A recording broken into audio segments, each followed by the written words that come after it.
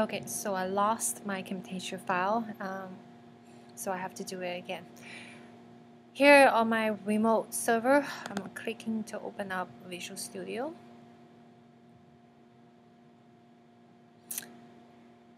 I'm going to create a new website. It's an empty website and uh, using Visual Basic. I'm going to change my project name. For you, be last name project 2. Um, so here using today's date. And click OK. So only the web.config right now. So I'm going to um, going to the project folder I just created. So one is has the solution file, the other one has going to web.config. I'm going to copy paste the some existing items, not all, from my project one. So only want the image folder, the script and style folder that has script, uh, JavaScript and style for the jQuery slideshow and pasting here. Okay, so um, I'm also going to need the global.css, but not the global.js. That's going to be replaced with server-side functions. Okay, and none of the HTML um, code because I'm going to copy paste the content over. So once I'm in here, I click the refresh button. I see all the items, existing items that I uh, copy in. Now I'm ready to make my master page. Add a new item, select master page. You can just keep the default name since we're only creating one. Bunch of code automatically uh, created. We just can't um, remove all of it. Okay. So for the body, we're gonna need. So back to the project one home page. I'm going to copy all the way from doc type till including the header, uh, the head section, wrapper header, including navigation, all the way to the opening content tag. So back to my server, I'm going to copy paste in here. And I'm going to end the content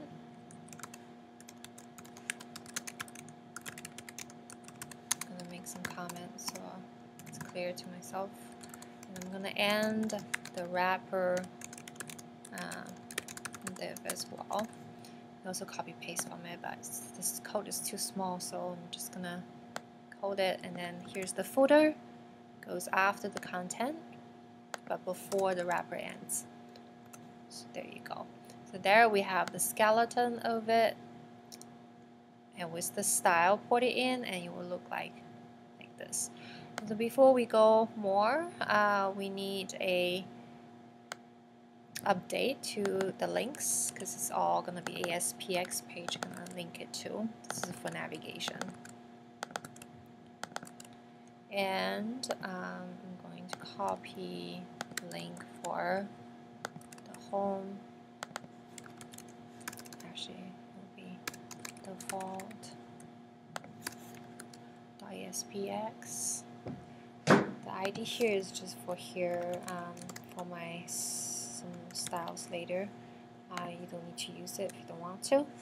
Uh, and then one more thing is that I want to uh, create a, which is important, in the content tag, this is where the customized content will go into for each page. So I need a content placeholder to tell each page that this is the um, dynamic content for each page going to go in. So this is called content placeholder 1. You can drag and drop the content placeholder control from the standard toolbox. If you don't see the toolbox, click the view, you will select and view it in your workspace. So now I save all. Okay, and I have this box as content placeholder and I'm ready to create my first page, web form, and just leave it as default.aspx. Check here to select master page and it's the only one to select and you can see that without coding anything okay back to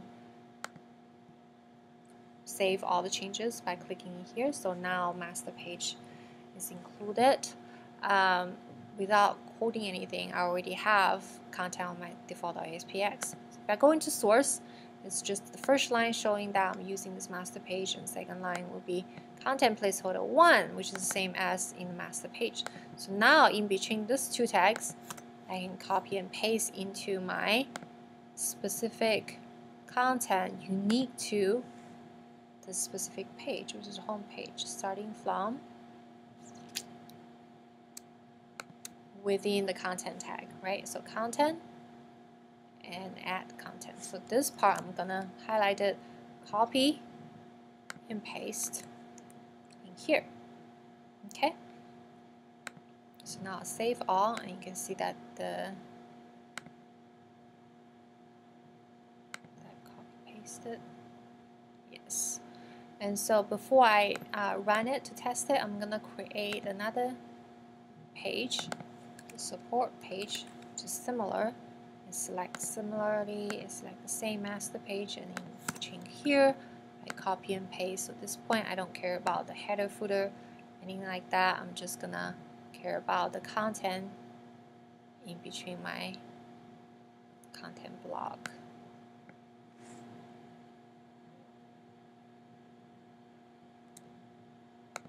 So I copy, going back here, paste it. Okay, and I'm gonna one more thing right click on the first page you wanna start set as start page. Now I'm ready to test it for the first time just click OK enable debugging. You can also optionally without debugging you just show you the line where it breaks. Um, either way it's fine at this point. And first page shows and the slideshow is working. That's the home page. Footer is also there and then if you click on support and support page is there as well. Footer same footer same location and the links all work. Okay.